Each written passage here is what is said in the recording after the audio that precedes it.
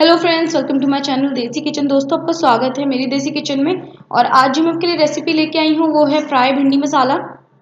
और इसे बनाना बहुत ही आसान है इसके इंग्रेडिएंट्स यहाँ मैंने यहाँ पे ढाई सौ ग्राम भिंडी लिया है इसको मैंने इस तरह काट लिया है।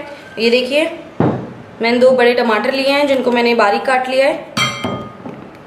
नमक स्वाद अनुसार लाल मिर्च आधा चम्मच पाउडर आम पाउडर आधा चम्मच बारीक कटा हुआ धनिया गार्निशिंग के लिए। हमारे पास कॉर्नफ्लोर है। अब कॉर्नफ्लावर को हम दो बड़े चम्मच यूज़ करेंगे। क्रिस्पीनेस के लिए। जैसा कि मैंने कहा था नमक स्वाद अनुसार। हम नमक ज़्यादा नहीं डालेंगे थोड़ा ही डालेंगे क्योंकि हम जब आगे सब्ज़ी बनाएँगे इसकी और आधा चम्मच लाल मिर्च पाउडर तब भी हम नमक का यूज़ करेंगे इसलिए नमक की क्वांटिटी बिल्कुल परफेक्ट रखेंगे। और लाल मिर्च पाउडर भी हमने आधा डाला है। अब इसको अच्छे से मिला लेंगे। और ज़रूरत पड़ेगी तो हम थोड़ा सा पानी के थोड़े छींटे भी मार सकते हैं। अब हम इसमें डालेंगे आमचूर पाउडर, आधा चम्मच, और आधा हम बाद में डालेंगे जब सब्ज़ी बनाएँगे। ये देखिए, मैंने थोड़ा सा रख लिया है। अब इसको अच्छे से मिक्स कर लेंगे। और हल्का सा इसमें दो चार बूंदे पानी के डाल लेंगे ताकि हमारा मसाला चिपक जाए। बस हल्का सा ही डालना है हमें। ज़्यादा, क्योंकि भिंडी अपना रस भी छोड़ देती है तो इसलिए हम ज़्यादा इसे पानी डालेंगे, इसे तरह तरह नहीं करेंगे। अब इसमें हम थोड़ा सा पानी और डाल देंगे। बस मैंने यहाँ पे दो बड़े चम्मच का पानी डाला है। अब इसको अच्छे से मिक्स कर लेंगे, ताकि कॉर्नफ्लावर इस पर अच्छे से लग जाए, और बाकी मसाले भी, ताकि जब इसे फ्राई करें तो इसका अच्छा सा टेस्ट आए। ये देखिए, अब मसाला अच्छे से इस पर चिपक चुका है। अब हमारा पैन गर्म हो चुका है। अब हम इसमें ऐड करेंगे ऑयल और फ्राई करने के हिसाब से हम ऑयल डालेंगे। ये मैंने इसमें ऑयल डाल लिया है। अब हमारा ऑयल थोड़ा सा जल्दी गर्म हो जाएगा क्योंकि मैंने अपना पैन पहले से चढ़ा दिया था।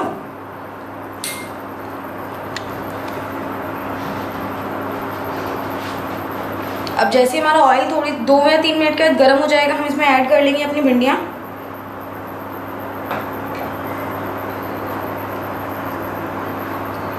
हमारा ऑयल गर्म हो चुका है।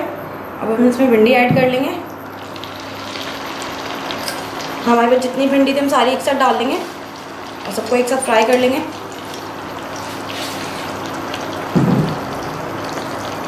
अब इसको गरम अच्छे से फ्राई होने देंगे।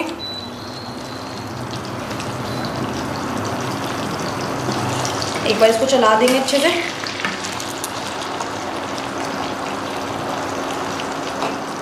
इसको हम फिर से एक बार चला लेंगे। अच्छे से इसे चला लेना ताकि चारों तरफ़ से अच्छी क्रिस्पी हो जाए। जब तक ये हल्की सी क्रिस्पी नहीं होगी, जब तक हम इसे निकालेंगे नहीं। और इस टाइम में फ्लेम हम थोड़ा सा तेज़ कर लेंगे, ताकि हमारी भिंडी अच्छे से क्रिस्पी हो जाए। और इसको अच्छे से चलाते रहना और सब हल्के चलाना है, ताकि हम जब गर्म ऑयल पे काम करते हैं तो थोड़ा सा हमें सावधानी बरतनी चाहिए।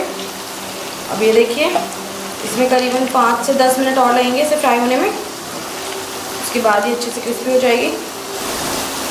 अब इसको हम फिर से एक और बार चला लेंगे। और ये देखिए, अब इसका कलर थोड़ा सा चेंज होने लग गया है, थोड़ा डार्क कलर की हो गई है।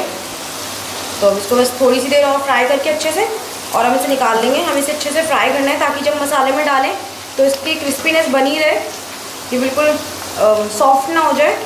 तो इसलिए हम इसको अच्छे से करारा करेंगे। थोड़ा सा टाइम लगेगा, पर इसके बाद जो डिश आपको मिलेगी वो बहुत ज़्यादा टेस्टी होगी। ये देखिए अब इसको मैंने फिर चला लिया क्रिस्पी हो चुकी है ये देखिए आप देख सकते हैं। अब इसको हम प्लेट पे निकाल लेंगे थोड़ा सा ध्यान से। ये देखिए इसमें काफ़ी अच्छा कलर आ गया है। अगर ये थोड़ा सा चिपक भी जाए तो कोई टेंशन की बात नहीं है जब आप सब्ज़ी बनाएँगे तो ये खुल जाएँगे। ये देखिए और जो बाकी आपका जो ऑयल बचे आप उसे वापस से थोड़ा सा कम कर सकते हैं क्योंकि हमें सब्ज़ी के लिए इतना ऑयल नहीं चाहिए। ये हम इसमें टमाटर ऐड कर देंगे जार में जो मैंने आपको दिखाए थे स्टार्टिंग में बारीक कटे हुए। देखिए। और साथ ही में ऐड करेंगे चार से पाँच लहसुन और एक इंच आधा इंच का अदरक। अब इसे ग्राइंड कर लेंगे।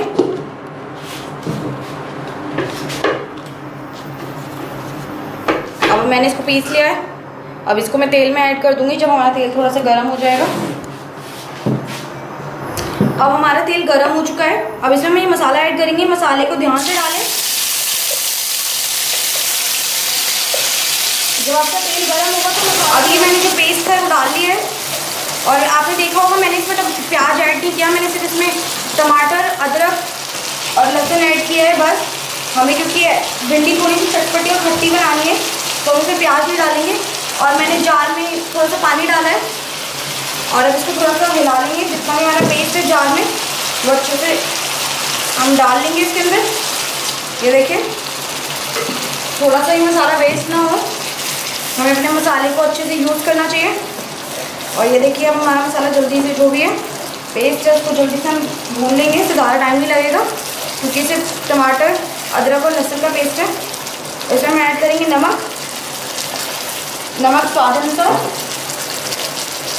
आधा चम्मच ला, जो लाल मिर्च मैंने आपको पहले दिखाई थी, बची हुई, मैं उसे भी ऐड कर लूँगी।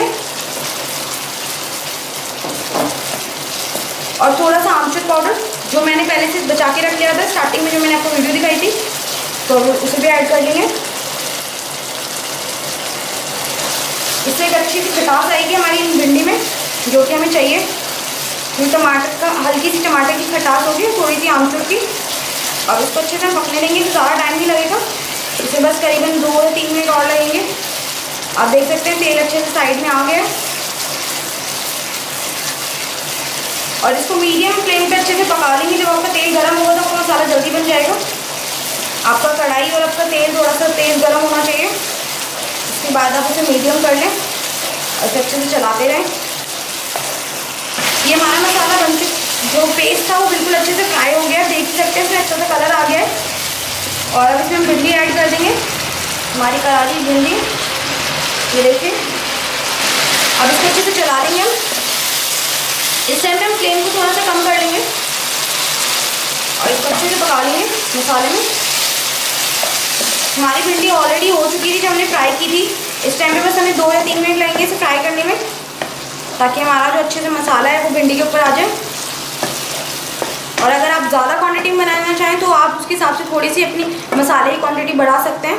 अगर आपने ज़्यादा भिंडी बनानी है तो। ये देखिए, अब बस इसको थोड़ा सा पका के, ये बिल्कुल रेडी है। इसको हम गार्निश करेंगे धनिया से। धनिया पत्ता मैंने बारीक काट के रख लिया है और ये बिल्कुल रेडी हो चुका है। मैं अपना फ्लेम बंद कर दूँगी। और ये देखें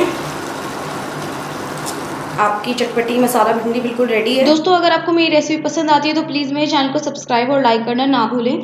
और प्लीज़ दोस्तों, अगर आप मेरी रेसिपी भी घर पे बनाते हैं तो प्लीज़ मुझे कमेंट बॉक्स में कमेंट करके ज़रूर बताएँ कि आपको मेरी रेसिपी कैसी लगी है।